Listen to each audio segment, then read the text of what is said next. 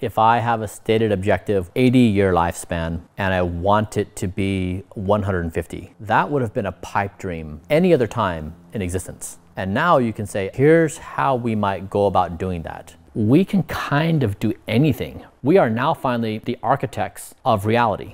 That is Bryan Johnson. After selling his company Braintree Venmo to PayPal for $800 million over a decade ago, Bryan's dabbled in the worlds of investing in audacious foundational science out of his fund, OS Fund, and in the world of brain-computer interfaces with a wearable neuroimaging headset company called Kernel. But today he's embarking on a new, more audacious mission, Don't Die. To get here, Brian created a thought experiment. Think about what will matter most, not in 10 years, not in 50 or even a lifetime, but hundreds and hundreds of years from now. When we look back at previous centuries, we typically can discern just a handful of things that changed the entire course. 99.9% of what we do today is going to be lost to history. No one's going to care. The human mind has been the superior form of intelligence on this earth for quite some time. Computational intelligence is now exceeding us in many ways and it will probably surpass us in all ways. His mission in longevity is called Project Blueprint, a protocol in diet, sleep, and exercise where every calorie ingested, every minute slept, every muscle worked is meticulously tracked and optimized by Bryan and a team of scientists. It costs him $2 million every year. And it's made him the most measured human in history. We know things that are healthy for you and things that can kill you, but there's a lot of gray area in between. Does a cigarette kill you? What about a drink? How much? By routinely measuring everything in his body, Bryan can tell you. Three years into following this algorithm, he's now accumulating aging damage slower than the average 10-year-old. It legit works. If I could go back in time and tell myself how well I would feel right now, I wouldn't believe it. Living longer and being healthy longer allows you to play the game a longer time. People investing in longevity, it could be the highest producing investment of their entire life. Nothing could yield potentially better gains. Bryan wasn't always like this. He grew up in a religious community that champions storytelling. But after developing a distrust in the world around him, and eventually even himself, he left in pursuit of objective truths and eventually an algorithm that could take better care of him than he can himself. But Bryan's own experiences give him a glimpse into how he might get more people bought into the philosophy of don't die, and the ways in which people tend to push back. Growing up, I trusted adults, and then I trusted institutions. Then I trusted myself. Am no longer interested in what I have to say. When I contemplate how to take care of myself, I am not as good as an algorithm. They're actually gonna be like 99% predictable what they're gonna say. Half the group's like, what, is this a cult? Who am I? What game do I play? Do I have status anymore? Do I have power? Do I have respect? Do I have uh, a reason to live? Do, what, what do I want? We spoke about biographies and genius, zeroth principles thinking, AI and foundational technologies, living forever, free will, learning how to swim, and what makes life worth living. To me, it's just like, it's so amazing to be alive. Yes, it's like life has been hard and um, I really don't want it to end. How long do you think you can live? I'll respond with what I think is the most revolutionary thought or principle of what I'm trying to do. Oh, this is camera. Hi, friend. This is the LaBossiere podcast. We choose to go to the moon. We deliver right to the desktop. We're going to reinvent the phone. Oh,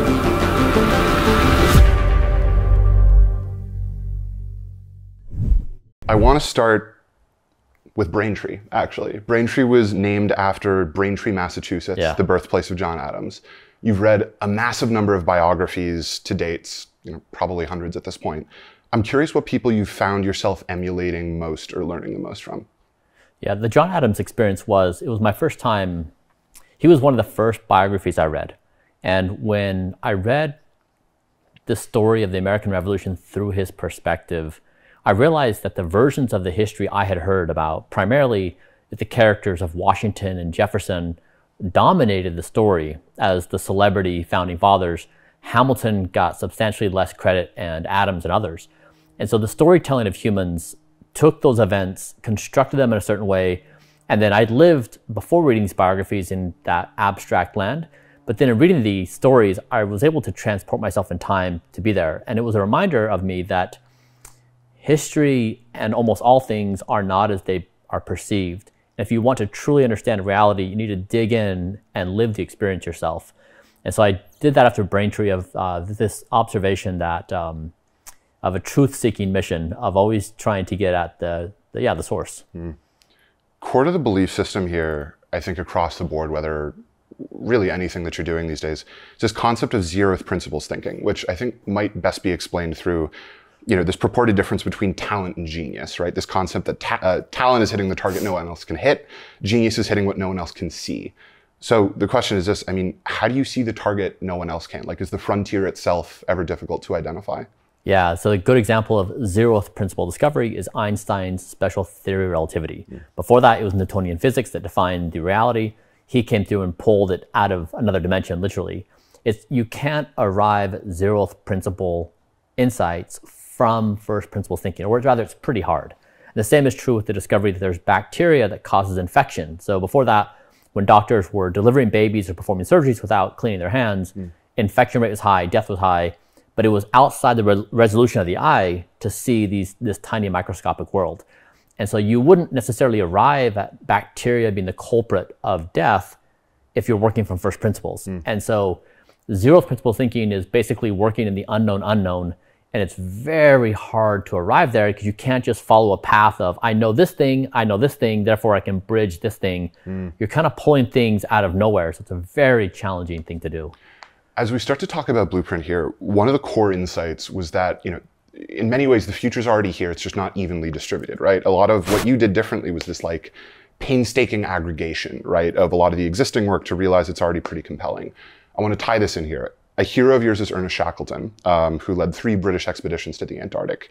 You have your own Shackleton sniff test uh, to determine whether you're pursuing the most audacious endeavor you could. So, what is Blueprint to set the stage here, and why was it what you chose to pursue?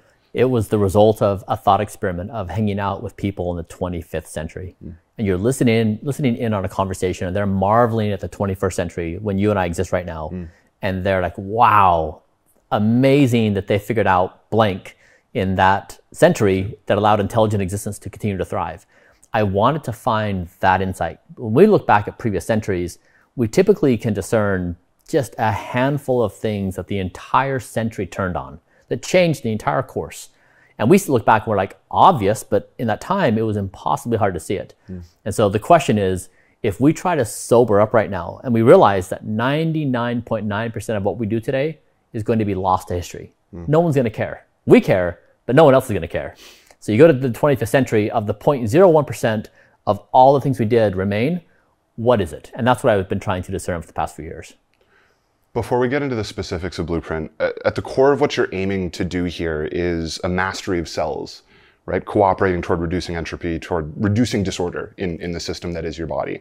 Um, but maybe eventually, like in other domains too. So, to walk through this, you use the example of uh, Thomas Paine, right, in Common Sense, making the argument that the monarch is ignorant, right? Your brain doesn't necessarily know what's best for your body, uh, and that democracy is better be- because because local governance, being you know the rest of your body knows what's best for itself. So um, we'll get into Blueprint, but in in what other areas does this apply in your mind? Planet Earth. Uh, definitely. We treat our bodies like we treat planet Earth. It's a parallel relationship, it's in the mirror. And uh, it'd be the same way you could take planet Earth, just replace my body with planet Earth. You measure planet Earth with millions of measurements the soil, and the atmosphere, the toxins. You look at scientific evidence on what do we need to have a thriving biosphere. You implement the protocol, and you do that again and again. Data, science, protocol. Data, science, protocol. And that's how we solve climate on this planet. Uh, right now, we do whatever we want to the planet uh, with almost like reckless, reckless abandon. Some constraints, but not really. And that's the same way we do, same thing we do to our body. So yeah, it's a system uh, that's applicable to self, to each other, to the planet, to building AI. It's I would propose the potentially the guiding philosophy of the 21st century that helps us understand what we do in this moment.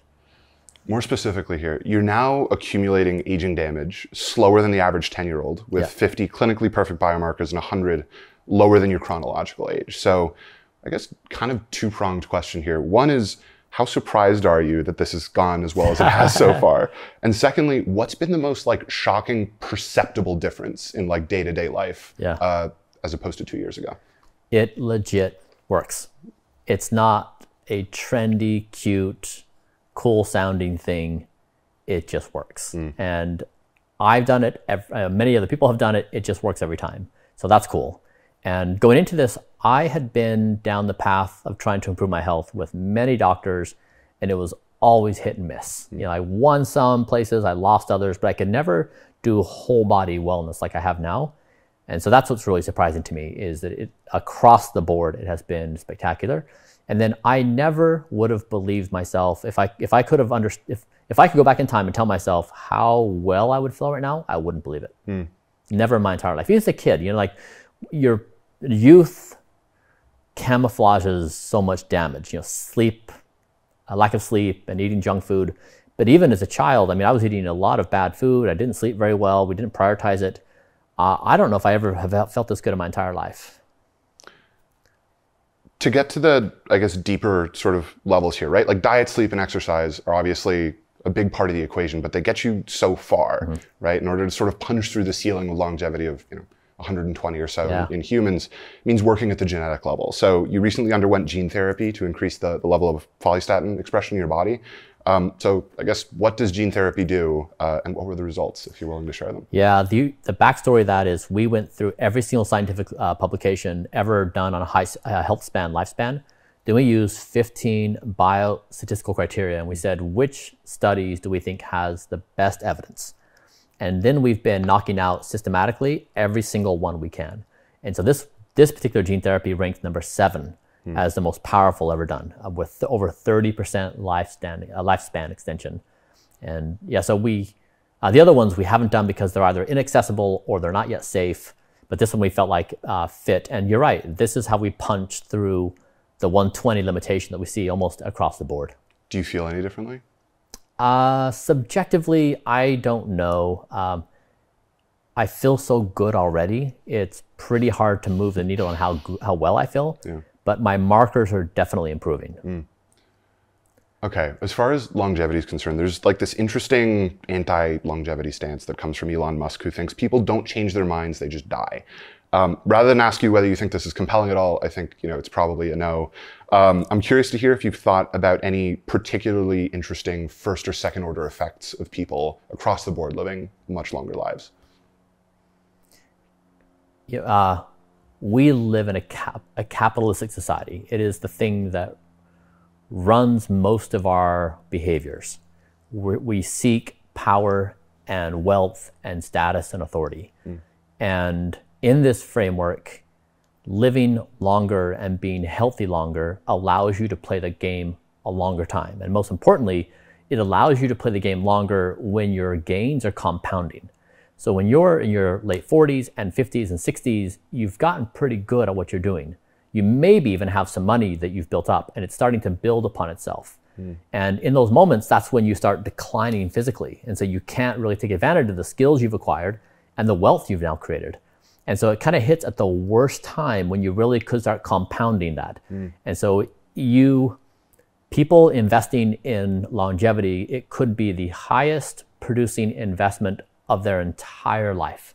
Nothing could yield potentially better gains. Hmm. Do you feel like your relationship with time has changed at all? Right? Like, in a sense, you're aging in reverse in some categories. And I think, like, you know, the typical stoic thing is like memento mori, like, remember you're going to die. Yeah. Uh, that should drive you in life. What is your relationship with that? this is what I think the 25th century observes is don't die is deceptively simple. It is potentially the most rich philosophy we've ever had. Okay. So, diet, sleep, exercise, gene therapy now. Let's talk about measurement, right? At the core of this whole thing is this concept of biological versus chronological age. Chronologically, you're 46, I think. I guess measuring your, your biological age, um, can you kind of walk through that and what you look at to determine that number for different parts of your body? Yeah. So, an easy way to understand this is if you looked at a baby's heart and a 90 year old heart, they look and function differently. And that's true for a 10 year old and a 20 year old and a 30 year old. So, our body looks and acts, you know, functions li- differently across the various ages. So, you can just simply look at a biological process or an organ like the heart or liver or lungs and say, How old are you? Mm. and you can tease out the origin, organ age based upon the anatomical characteristics and the functional characteristics. And that's what we've done across my entire body is we've tried to bioage every single part of my body.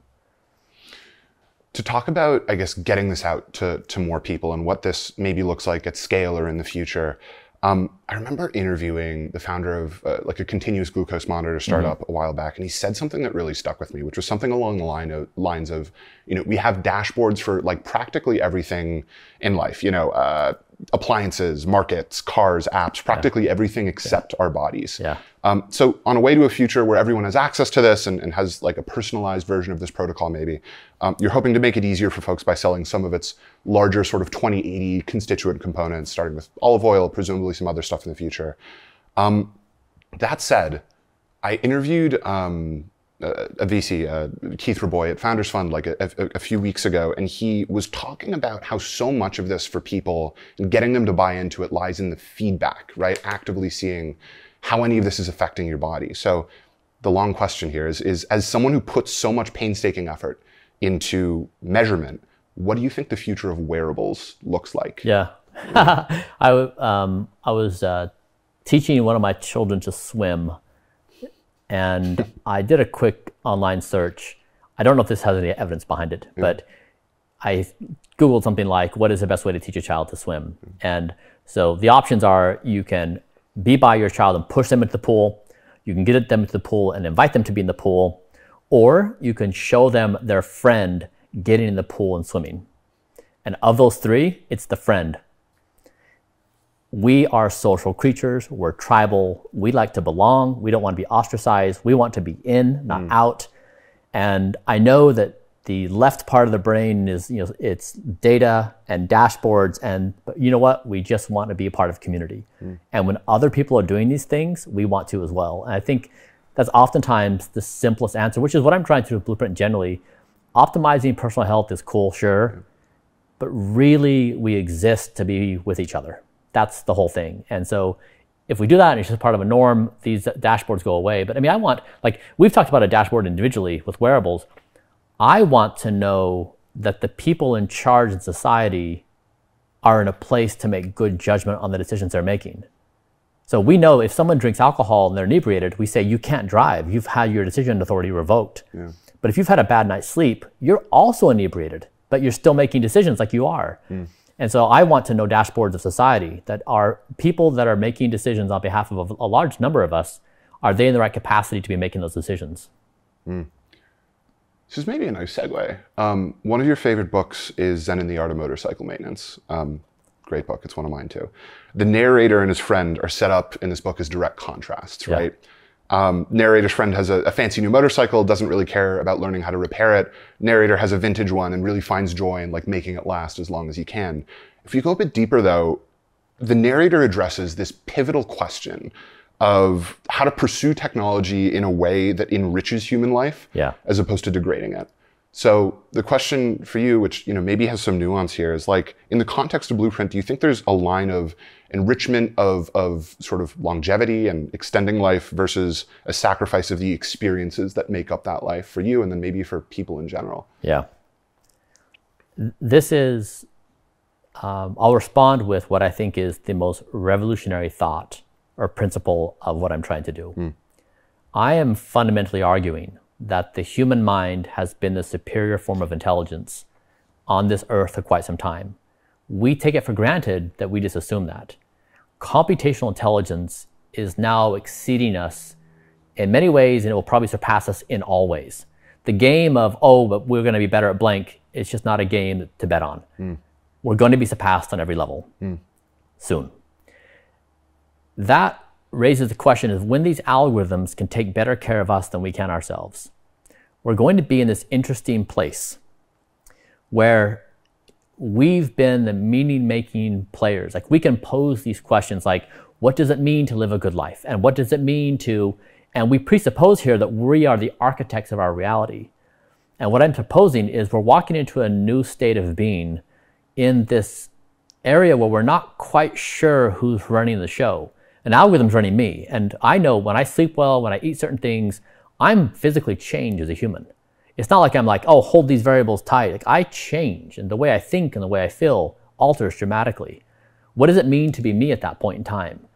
And so it's this emergent consciousness as we become increasingly intertwined with artificial intelligence, where it's not quite clear where we begin and where we end, mm. and what the algorithm is and what it's not. And this is it's scary initially because it, it, challenges this notion we have, which is sacred, which is like I'm an independent unit. I decide all things. I will be the person to put forward the ethical and moral and philosophical debate table for all things we're going to discuss. Maybe there's an end. Maybe we're at the end of that phase. And this is, I've been hosting dinners for several years, and I talk about this in much more depth. It takes two and a half hours to get this idea out and to land. Because when I say it, even people listening right now, yeah they're going to knee jerk reaction and just say, they're actually going to be like 99% predictable what they're going to say. They're, they're going to just repeat the zeitgeist of current 2023 thinking. Mm. But that's really, I think, where we're at is um, it may be time to play a new game as a species, a game so foreign and so alien, it breaks our brains.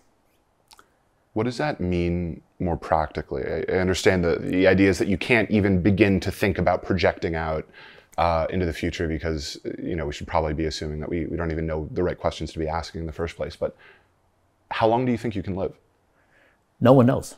This is the thing. This is why don't die matters.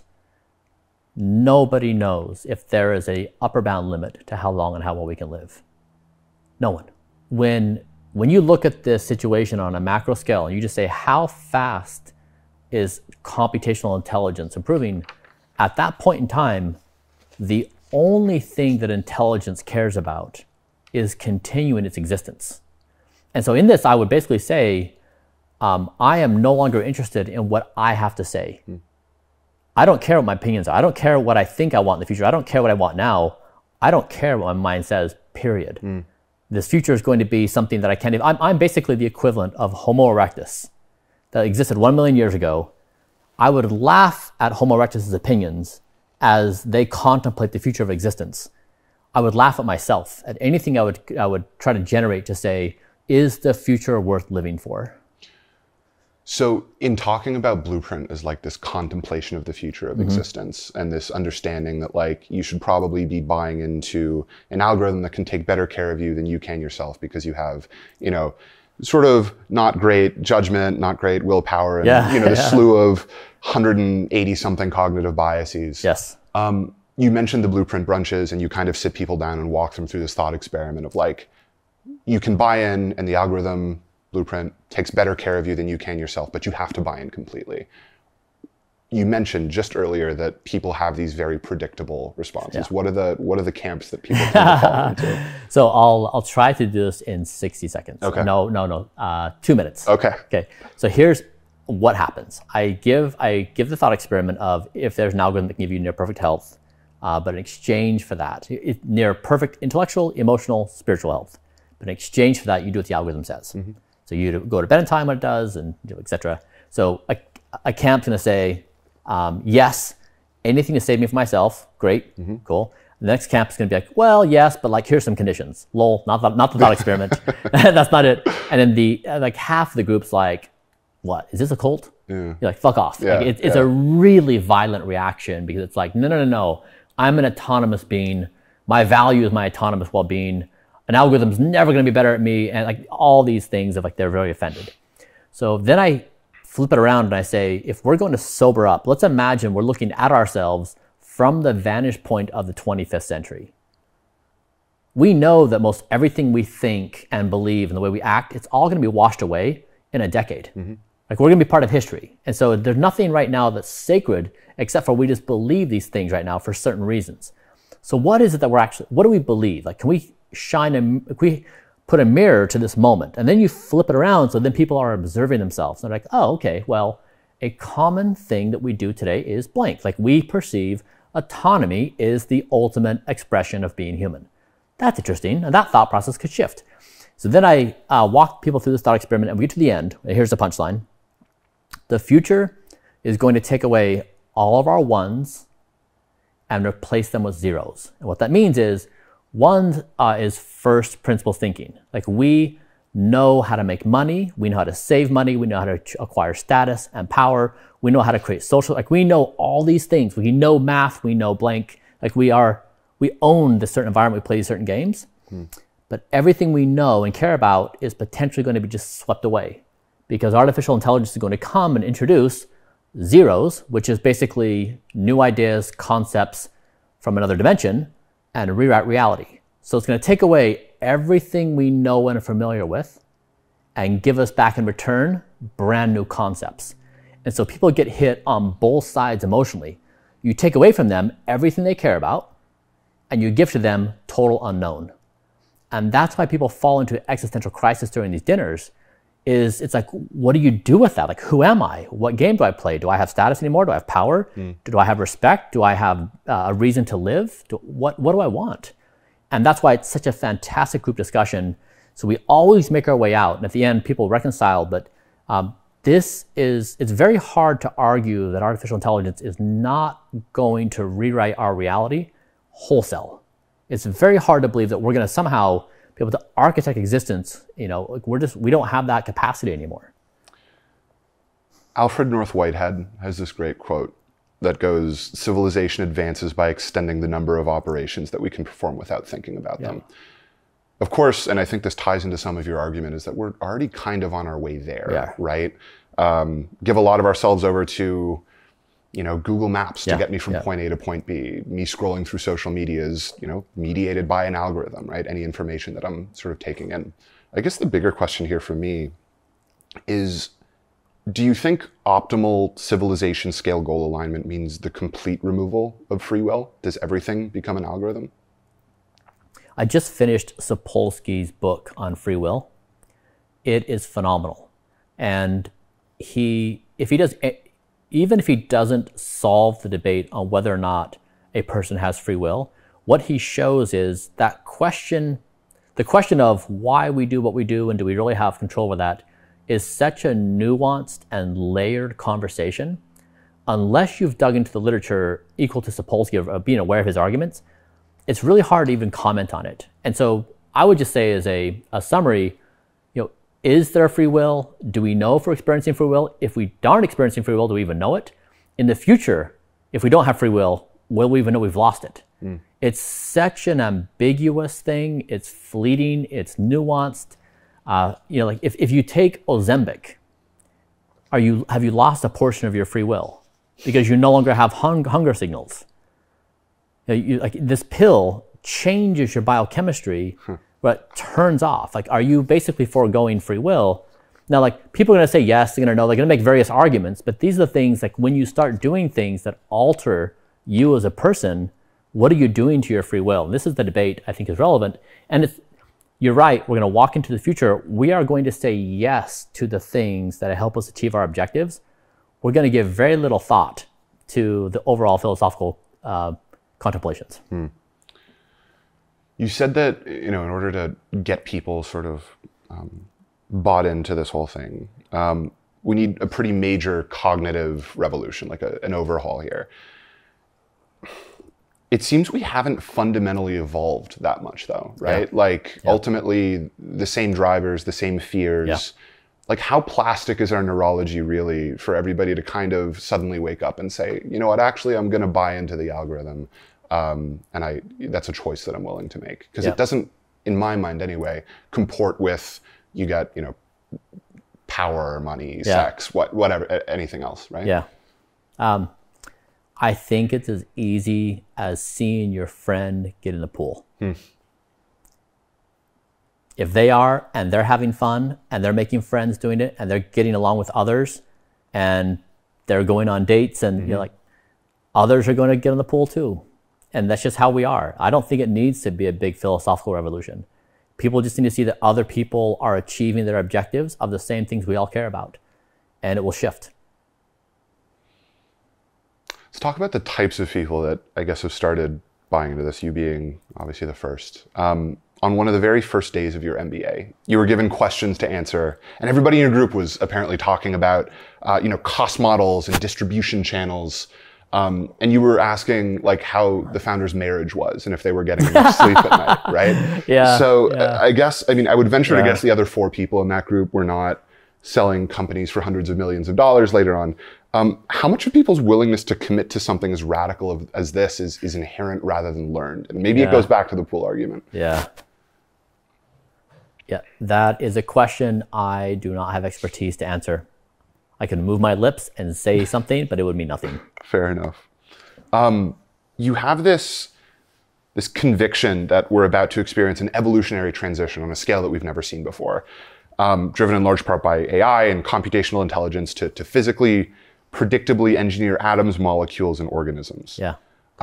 What does this actually mean more practically? Like, what does that future, in as much fidelity as you're able, look Okay. like? Yep. If I have a stated objective where I have a, a set, you know, 80 year lifespan and I want it to be 150 and I want that lifespan to be health, as healthy as an 18 year old. Like I want the same uh, biological characteristics of an 18 year old. That would have been a pipe dream any other time in existence. And now you can say, okay, actually, here's how we might go about doing that.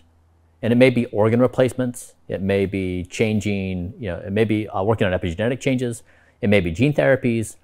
And even if those things are not available right now, you can see structurally, biologically, how they would actually happen. Now, there's unknowns there, but if you ask this question in the 16th century, we didn't have the understanding of DNA. We didn't have the understanding of biological processes. It was very so.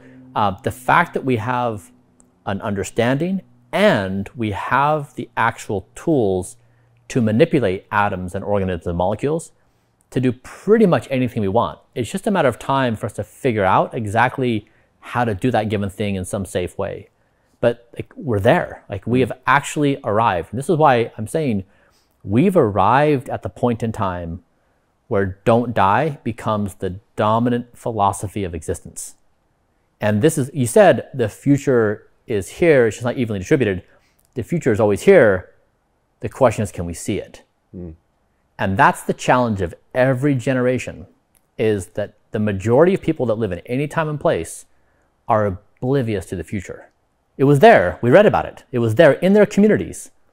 And they either saw it and they dismissed it as crazy. They saw it and they, you know, were skeptical of it, whatever the case may be. But it's always the case. And so it's, it's no different right now. The future is here. So the question is, you know, don't die is an idea that many people think is crazy. But are you falling prey just like billions of other people have fallen prey to, not seeing the future in their time and place when it did arrive?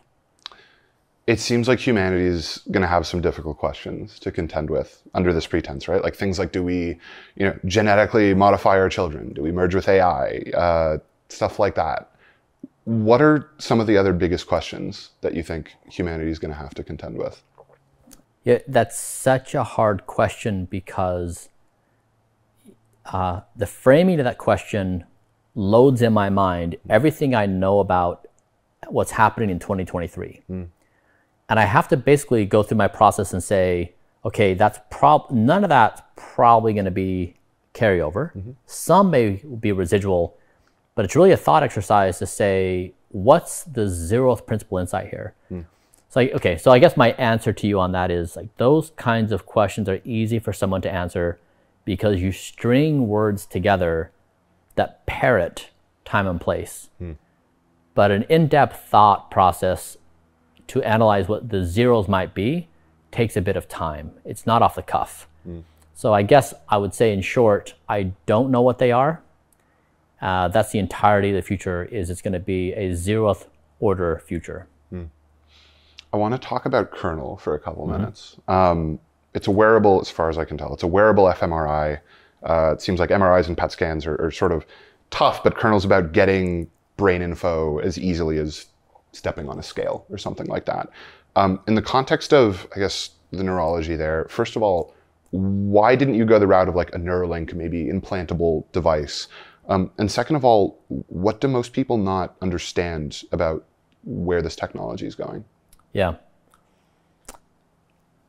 Um, so I, I became the most measured person in human history through Blueprint. And I've learned that one of the hardest things to measure is my brain. And my brain's important to me. I want to know what's going on there. I want to know what affects my brain. How does sleep affect my brain and diet and exercise? What do how do certain friends like affect my brain? How does my environment? Uh, psychedelics. You know, I did uh, ketamine as a pilot participant at Kernel. So I have all these questions and I just don't know. Mm. And so we built that device to basically say we want to make your brain as easily measured as anything else. And I want to, um, you know, science begins with counting. And right now we can't count our brain. We can't assign numbers to it. It's this subjective thing we have. So Kernel introduces uh, rigorous science around our brains. And that's what I hope to do. And we've built the device. So seven years in, most people thought it was impossible to do. And I wanted to do it because implants are, are they have their place. Like they're definitely extremely useful. There's over 300 people, 300,000 people with, with implants right now. Uh, but you're not going to scale to a billion people with implants in any time frame that's realistic. You're going to be at a hyper focused thing. So if you want to build this for the masses and you want to imagine us building the future in a structured way with our brains, you have to go non-invasive. Mm. And that's why I made the change with Kernel is I knew implantables would have some small market. Like, say, like even if, if Neuralink becomes the, like a wild success, it's like a million implants. Mm-hmm. You know, that's like a huge, huge number. Where this non-invasive, you could get to billions of people. And then you start systematically. And they're different technologies, they do different things, but I really wanted to work out a species level scale on how do you build our cognition going into the future. What did ketamine do?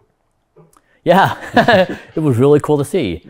So imagine you see planet Earth and you see a bunch of airports around the Earth, and so you see traffic patterns between Tokyo and New York. Mm. So you see big traffic patterns, and you see small airports and small cities where there's not much. That's the same with our brain. We have these big networks of communication and then smaller networks. Mm. And your network patterns tell things about you. So there's patterns in there. And so I had my patterns mapped. I looked at my, my brain was scanned. Uh, I had the, the kernel system on my head for uh, seven minutes a day for five days before. And then during ketamine and then uh, a month afterwards. And I saw all my networks change. And the cool thing that happened is my networks were all very stable for five days. And then I did ketamine and it washed my networks. Like it basically, it just scrapped where Tokyo and New York were. It just scrambled the, the entire globe. And then over the, the five days after that, my networks rebuilt themselves up to similar patterns. But there was a two to three day window where my networks were just washed. Hmm. And that's the therapeutic window that a lot of people talk about is when you're doing that and you're trying to rebuild yourself and build new patterns of self, that's the window. So we saw my patterns dissolve and then rebuild, and we saw that window. So it was cool. And then, you know, of course, there's other information in the patterns themselves, but hmm. It was cool to see my cognition in data. Hmm. So whether it's kernel or blueprint um, and this this like process of measurement to what we were talking about earlier, like how far would you go with this personally? Would you would you start like a hardware company? Because um, it seems like measurement, I think, is is really at the core of not just what we were talking about earlier and getting people to like yeah. in real time understand the impact that it's having on yeah. them, um, but also more broadly, um, it, it feels like things are moving in that direction. Yeah, I mean, I, I had an interesting perspective. I grew up in a community that was a storytelling community. It was religious, mm. and religions thrive on story. You know, uh, most religions are not going out and trying to quantify, you know, like uh, was the earth you built in six days or not. Yeah. So it's, it's a story-based religion. So I grew up that way, and I read Gary Becker was a Nobel Prize-winning uh, economist from the University of Chicago. I stumbled upon his book, The Economics of Life, and he took uh, topics like any topic, like poverty or religion or something else, and then he would explain it explain it in terms of economics. Uh, Freakonomics is a book that came along later and did the same thing, but it was like this. It was one of my favorite moments of life where I thought, "You're kidding me! Reality can be explained numerically. Mm. It's not just a story. I can see graphs and math and formulas." And it was one of the biggest moments of my entire life. And since I've, I've really gravitated towards trying to understand reality numerically. Story is awesome. It definitely has its place. Like we still like I tell stories right with Blueprint. Yeah. Uh, I really like numbers. I like data. I like math, and I've just really gravitated towards because I think if we're trying to build a future and lessen the risk of uh, this whole fun thing ending, like existential realities for the species or even myself and others, that we're going to be more likely to be successful if we are rigorous and scientific about the ways in which you do it. And not to say that that's the only way, but it definitely is a really nice tool to have in conjunction with story. But to me, it's just like it's so amazing to be alive. I'm so happy I'm alive. You know, I, yes, it's like life has been hard and, and it very it's hard a lot, but um, I really don't want it to end. I want to talk about OS Fund for a little bit. Um, you have a fund called OS Fund. Uh, I think broadly, as far as I understand it, operates under the thesis that every major technological change happens at the foundational level.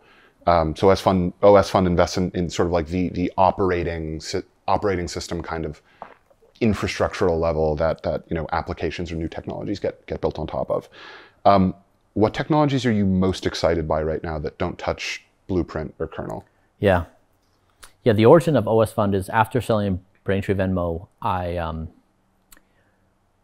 with that 25th century thought experiment, it seemed to me that I needed to get an education in the fields of biology and material science and computational therapeutics and, and, and, and like all deep tech. And I needed to do it fast. And so I decided to create the fund and invest in these companies. So I did make investments in synthetic biology, precision care, uh, chemistry, computational therapeutics, and I got to hang out with the founders in the trenches doing their thing. And it was incredibly helpful to, to see a PhD entrepreneur go from their primary area of expertise and then try to identify some commercializable thing to do it. And uh, fortunately, the, the fund was a success. I mean, I uh, maybe I lucked out because it, it was a brand new field. I had never, uh, I had never really uh, learned science outside of you know basic stuff in high school and college, and uh, being in there and practically learning the game was really helpful. But yeah, but some of the companies like uh, I was first money in Ginkgo Bioworks, which has come to be like the dominant provider. Uh, I'm bullish on them that uh, they will be able to be a critical player for DNA infrastructure in the world. Like I think they will change the, the game. And then another company, Numat, which is doing uh, metal organic frameworks. So they assemble part, they assemble matter uh, atom by atom, which you know like when I map this to longevity and I say, okay, so if we understand the aging processes, we have these tools to like you can take an E. coli, reprogram it to do what you want, like produce rose oil. So instead of doing a rose plant, just like make it like have it make it. And same when you assemble atoms and like Legos, we have these structural abilities now to build stuff in the body. And so to me, when you pair these fields and you layer on top of that, artificial intelligence generally is just getting better at all things. It is this moment where it's like we can kind of do anything. We we we are now finally the architects of reality, uh, physical reality, biological reality, our perceived reality. We now can engineer it for the first time. It was like a dream. It'd be a dreamland for Da Vinci. You know, like Da Vinci really played in that world.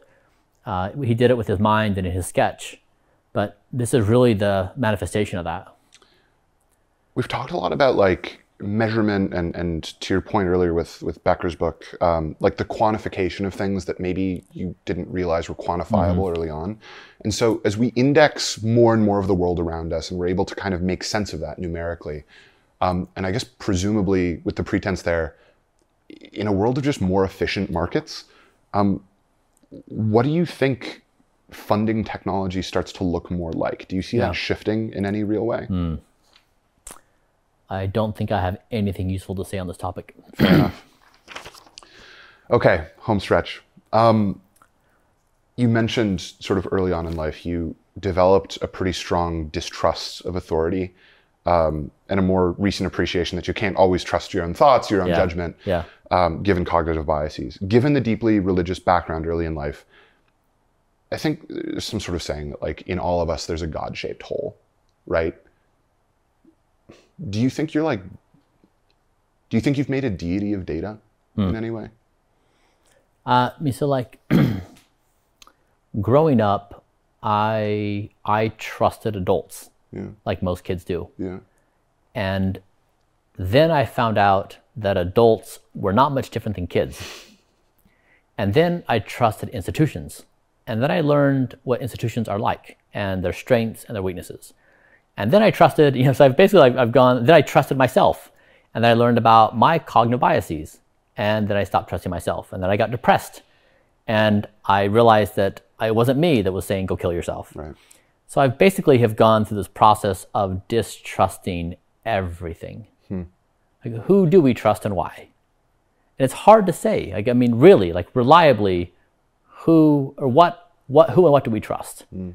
And so data, even though data and statistics are not trustworthy in of themselves, because you can spin any story you want, is to me potentially one of the more interesting sources of authority. Yeah. Not to say it should be followed blindly, not to say it's like, you know, clean cut. It is to say that it's a really helpful thing uh, when you can introduce that into the equation.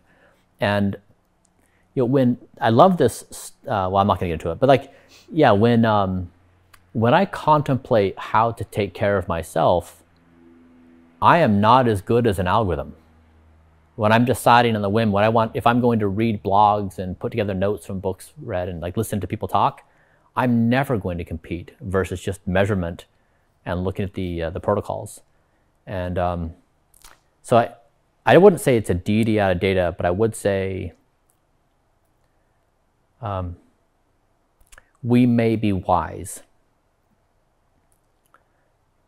to find a complementary source of wisdom because right now we've propped up our minds as the ultimate authority. And this is the funny thing again about the 25th century. We currently, our minds are the best place for wisdom in, in society. Now, there's been a few places where data and algorithms have come in, like getting to a destination via digital navigation, right? There's like a few areas in society where, like, yep, legit better. Yeah. And we all accept it. Uh, and that's just going to happen more and more frequently. But really, the human mind as the dominant source of authority and wisdom is going down very rapidly, and computational intelligence is moving up very rapidly. And it's going in different paths, and we never know which ones are going to hit and when, but it is a trend that is very hard to wager against. Two more for you. Yeah. You sold Braintree Venmo for $800 million. Not very many people have the you know, privilege of experiencing something of that magnitude. I'm curious from your perspective, you know, it's been a little while now looking back, how did wealth change you? Hmm. Yeah, these kinds of questions, I think it's always best to ask others because they're more perception, perceptive of you than you are yourself. Yeah. Um, I mean, I really wanted money because I wanted to be involved in something that would change the course of human history, of intelligence in the galaxy. That's really all I've cared about ever. I've never cared about uh, rich people things. A yacht or like big expensive homes. I really have only cared about effectuating change. It's the only thing on my, my mind ever. And money is really useful when you're chasing that. And it's hard. Like if you, I mean, when I look back in the biographies I've read, when you look at the number of things and people that are remembered from the previous centuries, it's unbelievably small. Hmm. And to try to compete for a spot in that is challenging. And that's where my mind is all the time. And so money is just simply a vehicle, but no one cares about someone's wealth in a previous time and place. They care about what they did with it. Yeah. So that's definitely my relationship with money. What would you be working on if you weren't doing Blueprint, Kernel, OS Fund? I mean, I I looked at everything, like I really did, and I mean, there's only a few things going on right now. I mean, artificial intelligence is the dominant thing. Um, how do we not destroy ourselves as a species? You know, like how do we not nuke each other or do some kind of bioterror weapon? How do we not destroy our planet, mm-hmm. the biosphere? And then how do we actually build a future that we can participate in? Hmm. Outside of that, there's not really anything else going on. And when I look at those things, I look at all four and I say, you can collapse all four into Don't Die. It, Don't Die is the most played game every day in the world by everyone. There's no game played more by more people than Don't Die. I ask one question at the end of every interview I do with anyone. It's same thing. Inside or outside the scope of anything we spoke about, what should more people be thinking about? Yeah. Hey, friend. So this would be my take that reality is structured around first principles thinking. We try to, we work with things we know, and we are the stewards of knowledge and first principles.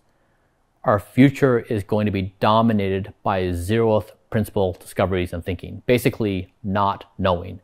And so while intelligence right now is all about knowing, intelligence of the future is going to be able to act when not knowing. And so the to make this tangible, uh, in 2017, I was in the Middle East with a, a leader in the country, and he said, "Here's my 2030 goals." I said, "That's amazing.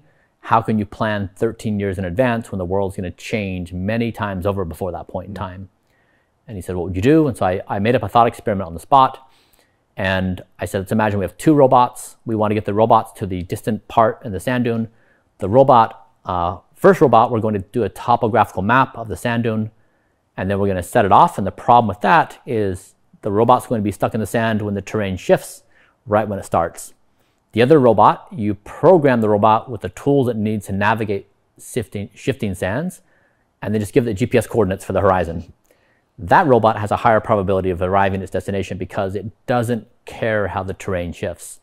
And so I would suggest that people plan for and build the skills for zeroth principle reality, where we don't know what's coming. And we are robust enough and anti fragile enough that we can navigate our existence with success, thriving on the fact that we don't know I think that's a good enough as place as, as any to, to leave it off. I really appreciate you doing this. Thank you yep. so much. Yeah, thank you.